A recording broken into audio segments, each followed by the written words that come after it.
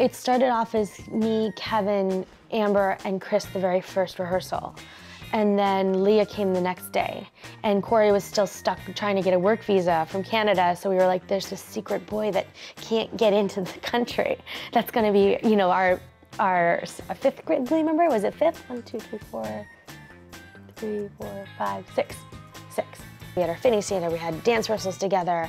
Um, and it's amazing because we had like two weeks to rehearse for the pilot for two numbers, and now we get like three hours to rehearse for dance numbers, and we can still pull it off. You know, we've come a long way.